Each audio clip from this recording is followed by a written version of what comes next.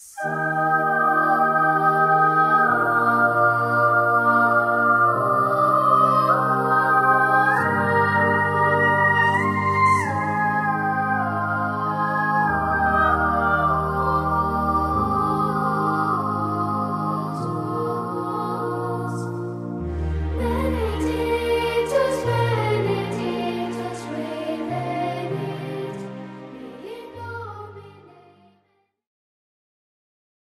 Here, how much do I owe you?